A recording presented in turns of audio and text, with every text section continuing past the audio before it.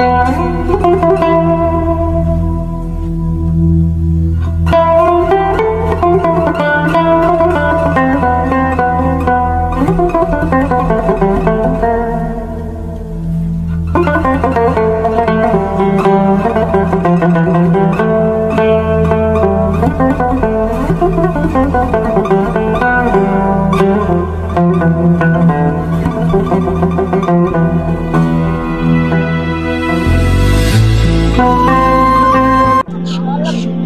वालेकुम तो हम पहुँच चुके हैं जी मुल्तान ओलिया कराम की नगरी में। तो भी हम हैं जी शाहरुख आलम।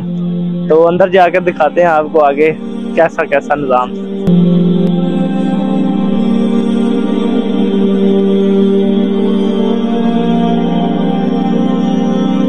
तो अभी जी ये जो पीछे मेरे पीछे आप देख सकते हैं ना, ये दरवाज़ा था मेन अंदर जाने का।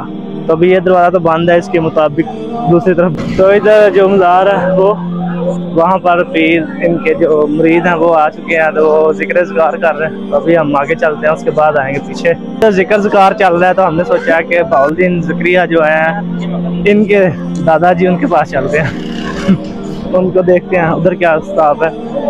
तो अभी यहाँ पर आई, यार रश काफ़ी ज़्यादा है, और इधर गर्मी भी है। ये जी, उस वक़्त की किले की जो तोप है, वो है। तो सात तोपों की सलामी से तो अभी हम जा रहे हैं जी दादाजी के पास, इनके। तो इधर सिक्योरिटी का काफ़ी अच्छा खासा इंतज़ाम है, माशाल्लाह। तो वैसे भी इनका भी अच्छा खासा इंतज़ाम, इनका भी अच्छा खासा इंतज़ाम है। तो अल्लाह पाक माफ़ करे, लेकिन इन लोगों ने अपना कारोबार बना रखा है। तो जी, बाउलदीन जिक्रिया और शाहरुख ने आला। तो यहाँ पर काफ़ी ज़्यादा जो ड्रामे हैं ना, वो काफ़ी ज़्यादा यहाँ शूट होते हैं। तभी हम पहुँचे हैं जी बावलदीन जिक्रिया के मज़ार पर। तो इधर, काफ़ी ज़्यादा कब्रें हैं जो बराबर हैं ज़मीन के। तो अभी अंदर नहीं, मेरे ख्याल से अंदर जाना देंगे कैमरा का। हम तो जाएँगे, अंदर की वीडियो नहीं बनेगी। तो अभी चलते हैं अंदर। तो अंदर, देखेंगे वीडियो बन सकती हो इसको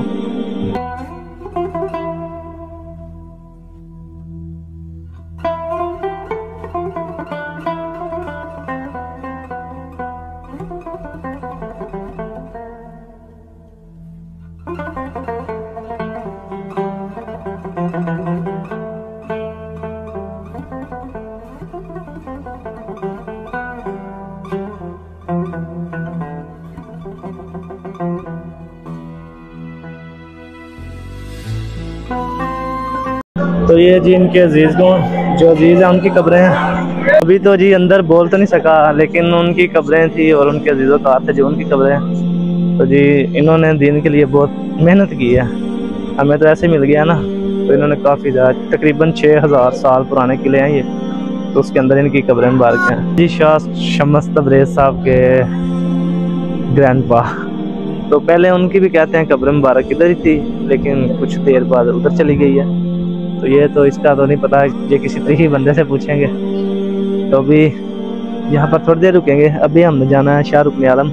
वहाँ पर वो जो ड्रामा है ना, खुदा और मोहब्बत, और उसके अलावा भी काफ़ी सारे ड्रामे वहाँ शूट हो चुके हैं। यहाँ पर जी जो लोग अपनी मनते वगैरह मांगते हैं ना, उन्होंने अपने कुछ ने अपने धागे और शापर वगैरह जो जो कुछ मन ये देखिए। अबुद्दीन जिक्रिया का जो मज़ार है वो तो आपने देख लिया अभी हम जा रहे हैं शाह समस्त तबरेज़ तो वहाँ पर ज़िक्र कार चल रहा था वो मेरे ख्याल से ख़त्म हो गया होगा। अभी चलते हैं। तो जी जूते पहन लिए हैं तो अभी जा रहे हैं शाहरुख ने आलम। तो अभी मेरे ख्याल से कोई अफसर वगैरह आया सिक्योरिटी काफ़ी ज़्यादा है और वैसे भी काफ़ी ज़्यादा रश है। इससे पूछते हैं जी बिलाल साहब। हाँ जी मज़ा आया? ये बिल्कुल बहुत ज़्यादा। तो वो मैं एक चीज़ नहीं आपको याद दिखा सका वो जहाँ खड़े हैं ना वो वहाँ पर कुआँ है। लोग अपनी अपनी मुरादें मांग कर बीच में पैसे फेंकते हैं। तो उधर नहीं मैं जा सका। याद भी नहीं था। तो इन्हें देख कर याद आया। ठीक है जी। मुल्तानी हलवा असल कैसा लगा मेरा मज़ाक?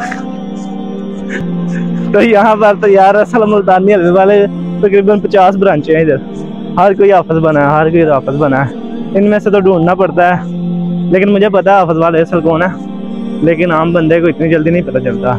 तो जी, देख।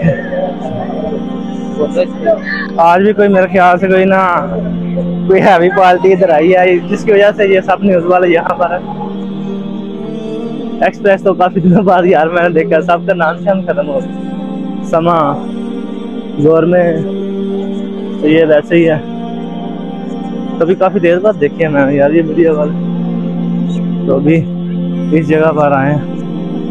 यहाँ से मुल्तान का शहर नज़र आता है ना, वो तो सकते हैं। तो यहाँ से जनाब, मुल्तान का पूरा शहर नज़र आ रहा है। वो सामने मेट्रो मेट्रो का स्टॉप है तो वो एक जा भी दे क्योंकि मुल्तान में सात, मैंने देखी हैं सात चीज़ें जो काफ़ी ज़्यादा मशहूर हैं। जिनमें तीन जगह पर हम आ चुके हैं। एक वो मेट्रो का स्टॉप भी है मशहूर में। एक मस्जिद है और एक पार्क है। तो एक पता नहीं वो क्या थी। तो इन जगह पर तो नहीं पहुँचा जा सकता, लेकिन अब इधर अंदर जाना था। ये भाई साहब, पूरे पूरे फोटोग्राफर है।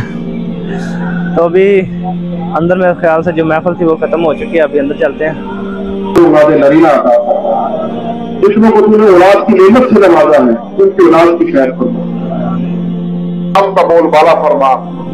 आलमीन, हज़ारों की तादाद में यहाँ पर शायरीन आए हैं ख्वाहिशात लेके आए हैं, या आलमीन या